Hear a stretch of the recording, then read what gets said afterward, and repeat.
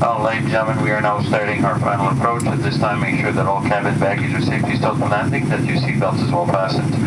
Straighten your chair back, put away your chair table, make sure that all types of electronic devices are now switched off. As well, on flights that exceed four hours, Transport Canada requires that we remind you of the location of emergency